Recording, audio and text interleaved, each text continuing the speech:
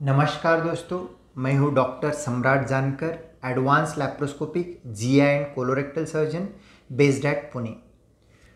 दोस्तों, आज हम एक बहुत कॉमन प्रश्न का जवाब देखेंगे इस वीडियो द्वारा। गॉल ब्लैडर सर्जरी के बाद में क्या डाइट होना चाहिए? गॉल ब्लैडर सर्जरी दुनिया में होने वाली एक सबसे कॉमन सर्जरी है और एक सेफ़ सर्जरी है। लगभग 99 परसेंट लैप्रोस्कोपी से होती है। गॉल ब्लैडर निकालने के बाद या सर्जरी के बाद क्या खाना चाहिए वो समझने के लिए पहले गॉल ब्लैडर का फ़ंक्शन देखना ज़रूरी है। गॉल ब्लैडर एक छोटी सी थैली होती है जो कि आपके राइट साइड में लिवर के नीचे होती है। जब भी आपके गॉल ब्लैडर में स्टोन हो जाए, पॉलिप हो जाए, कैंसर हो जाए या लीवर का कोई मेजर सर्जरी है या दूसरा कोई कैंसर का मेजर सर्जरी उसमें गॉल ब्लैडर निकाला जाता है।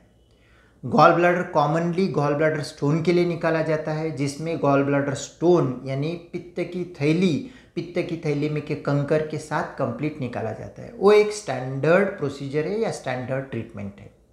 सर्जरी के बाद में क्या खाना चाहिए? ये बहुत बड़ा क्वेश्चन रहता है। गॉल ब्लैडर जो है एक्सेस बाइल, जो भी एक्सेस पित्त निर्माण होता है लीवर से, वो स्टोर करके रखता है। जब भी आप खाना खाते हो गॉल ब्लैडर पंप करता है, लगभग दो घंटे के बाद में, जो आपका खाना है मेनली फैट कोलेस्ट्रॉल डाइजेस्ट करने के लिए पित्त हेल्प करता है। अगर आप सर्जरी करवा लेते हो तो वहाँ पे गॉल ब्लैडर नहीं है, यानी स्टोरेज ऑर्गन नहीं है। स्टोरेज ऑर्गन नहीं है, इसका मतलब ये नहीं है बाइल नहीं है। बाइल तो लीवर से प्रोड्यूस होता ही है। और जब आप खाना खाओगे, बाइल आएगा और फैट डाइजेशन के लिए हेल्प करेगा। लेकिन आप अगर हेवी जंक फ़ूड खाओगे, बहुत फैटी फ़ूड खाओगे, बहुत सारा नॉनवेज एट अ टाइम खाओगे, इस वक्त में एक्सेस बाइल की ज़रूरत होती है।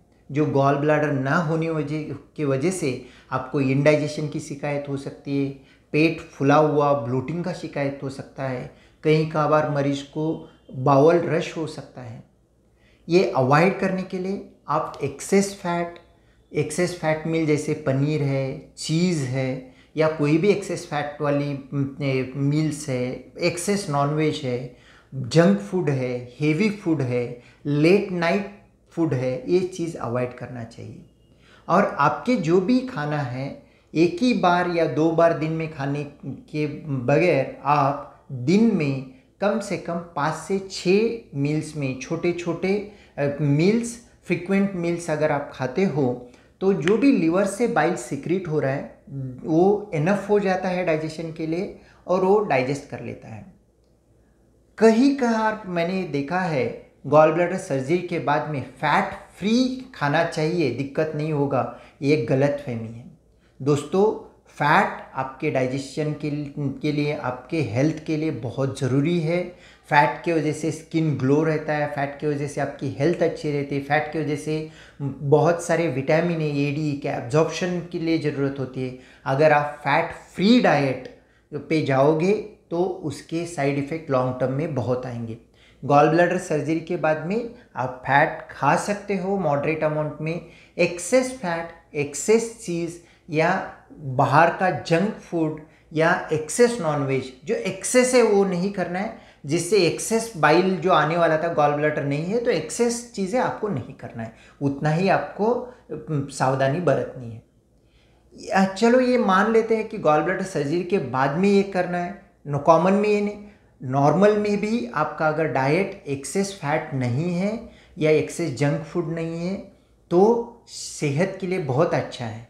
और आपका अगर गॉल ब्लैडर में स्टोन है, उस वक्त में भी आप एक्सेस फैट खाते हो तो पॉसिबिलिटी रहता है एक्सेस बाइल आपको पुश करने के चक्कर में गॉल ब्लैडर का जो भी कंकर है, जाके अटक जाएगा और इन्फेक्शन लेके आएगा।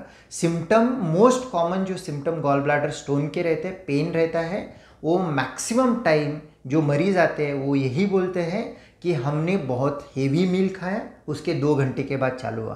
तो इसका मतलब है, आपका अगर गॉल ब्लडर स्टोन है स्टोन के साथ या स्टोन के बाद, या आप एब्सोल्युटली नॉर्मल हो, उस वक्त में भी ये डाइट लगभग सबके लिए अप्लीकेबल है। तो दोस्तों गॉल ब्लडर स्टोन होने के बाद या सर्जरी के बाद आप excess fat excess junk food heavy non veg late night food avoid कीजिए।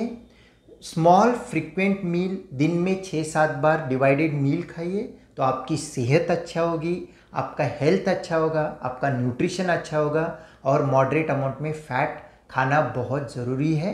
कंप्लीट फैट फ्री डाइट पे मत जाइए। धन्यवाद।